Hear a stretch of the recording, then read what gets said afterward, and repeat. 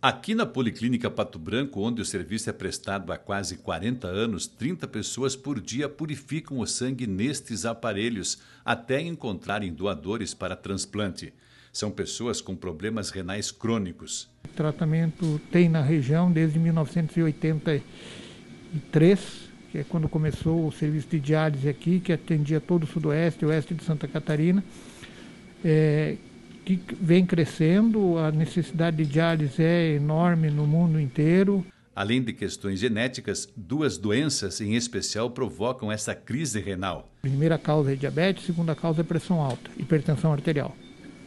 Tratamento dessas duas doenças bem é, rigoroso. Esse tratamento tem que ser o controle da pressão, o controle do diabetes, o parar de fumar, é, o evitar é, drogas, medicações que sejam tóxicas para o rim.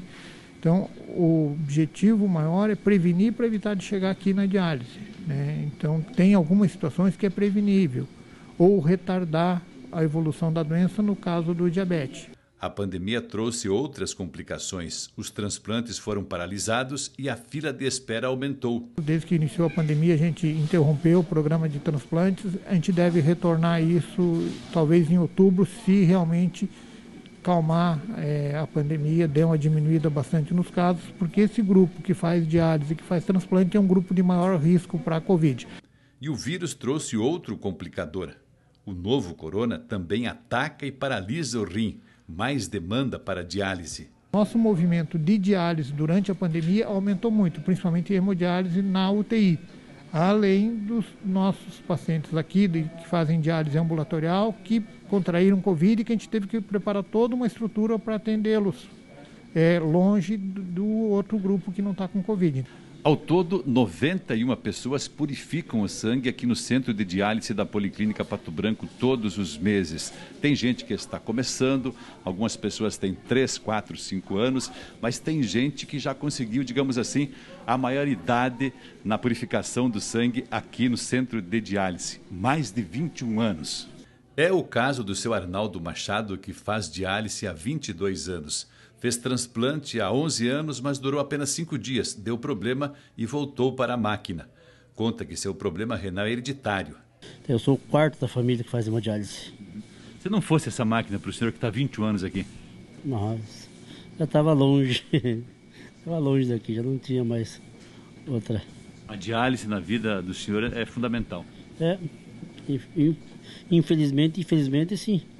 Seu Edson Cantu já fez dois transplantes em 1992 e em 1994, mas houve problemas no segundo em 2008. Graças à diálise, segue vivo. Se não fosse essa máquina, a alternativa não tinha, né? Ou a máquina, ou senão a gente já tinha, já tinha partido para outra, né?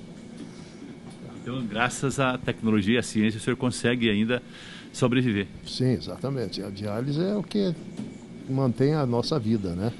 A Genide Tone vende Chopinzinho três vezes por semana, quatro horas por dia. Há quase dois anos, passa 12 horas neste aparelho por semana. Seu problema também é hereditário. Tem dois irmãos e um filho com o mesmo problema.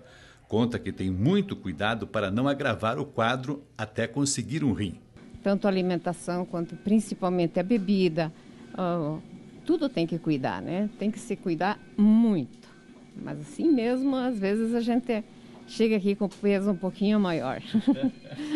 Mas tem que ter muita fé e esperança, não é? Sim, com certeza. A esperança de conseguir um transplante ajuda a gente a superar isso tudo. As unidades de terapia renal em todo o Brasil dizem que este serviço fundamental para quem tem o problema renal está em crise.